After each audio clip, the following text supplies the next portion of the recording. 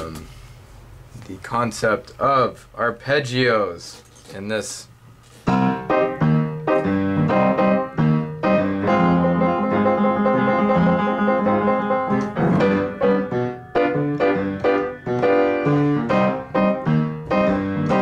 Easy chord progression, uh, two times through in C, two times in F minor, uh, two times in G, two times in C. Uh, it's a good cycle. You can you can mix it up any way you, you want, but that's a good way to start. Um, and again, the concept is just taking that arpeggio, whatever you're playing in your left hand, you're paying attention to in your right hand in your solo. Um, so a couple of things that you're going to work on are just first of all playing the arpeggio up and down the piano different combinations uh, you can skip. I like doing that. You can do little fancy things like that's one of my favorite ones just starting up. Sounds really sparkly and it's Just just all it is. Uh, so you start on the top note. So that's the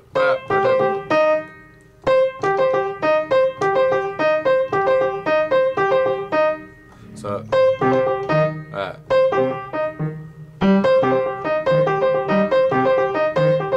if you got just a metronome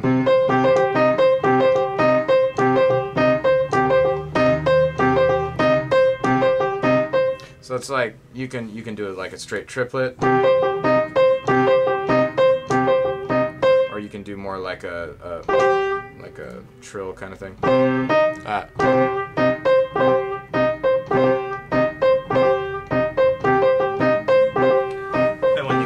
Was it just? I'm just moving, so you yeah. If you start here, and then you go to this inversion.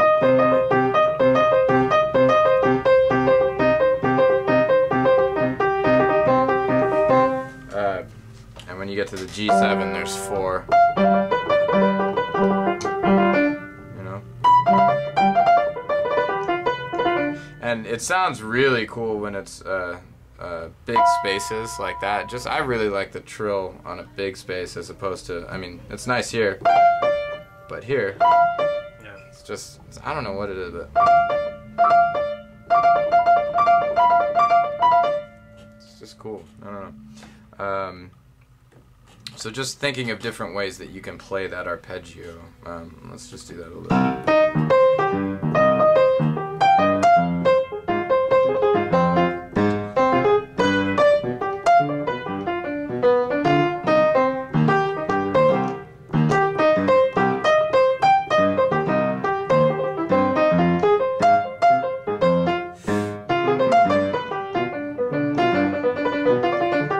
Oh god.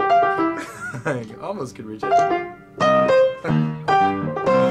uh, yeah, another thing you can do is um, octaves are really octaves are really strong sound. And just do the uh, this is like a like a Cuban song like the uh, that kind of thing, but uh, um, without doing the little movie around things, uh, you can uh, play the octave and then whatever's left in the chord. So here's the root, here's the first inversion, second inversion, right?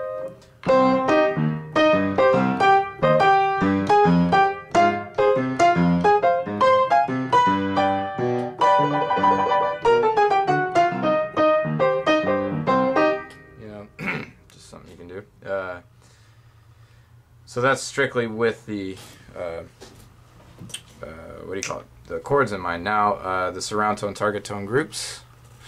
Um, let's start with just a chromatic approach, actually. Um, so something to practice is taking the scale. You have your harmonic minor scale, C harmonic minor. Uh, so all the notes are going to come from that scale. Uh, and we're going to take the C minor arpeggio and we're gonna approach it chromat um, not chromatically sorry uh, scalarly.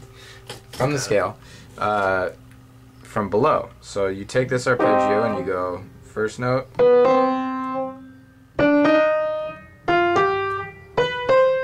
So you can see I'm outlining the C minor triad still using the notes from the C harmonic minor scale. So then the uh, then the F minor, you would be.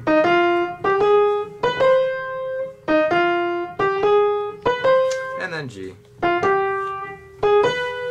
Big jump because it's in the scale. And we're gonna go to the G7. Uh, so if I'm gonna improvise with that, just like a scale, right? But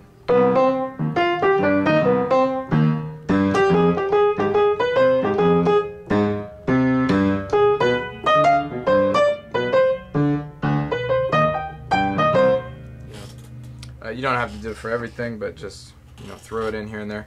Approach from above. Uh, that would be C, right?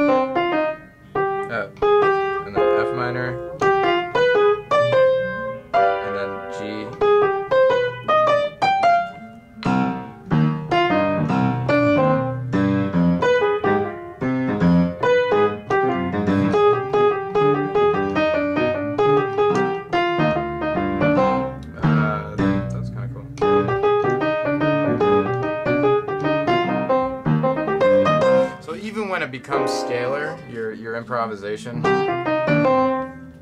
it's uh, you're still thinking about the notes in the chord, which is really an important thing. Think about the harmony. And you're going to be emphasizing the notes uh, that are in the chord, which is going to make it sound uh, more stable, like you Oh. know what you're doing, like that whole tension and release thing. Uh, if you're gonna end your phrase, if you end it on a chord tone, it's gonna be stronger. I mean, you don't always want that, you know. you know, whatever, whatever you're trying to do, but um, you know. Uh, and then the surround tone, target tone groups, you can go. That's from below, from above. So it's just useful to practice that uh, in you know all your different chords.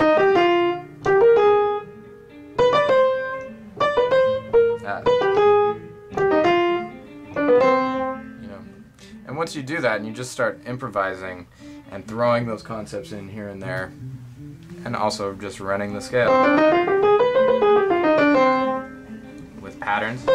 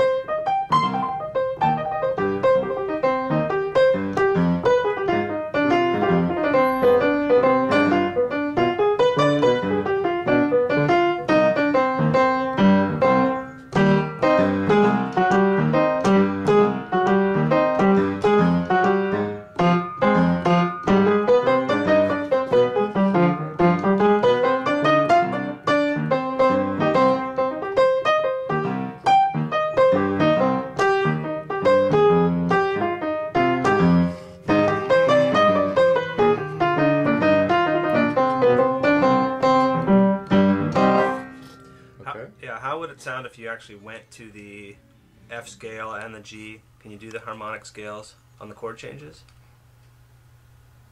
You actually Oh, change uh, scale, and that wouldn't sound right in this type of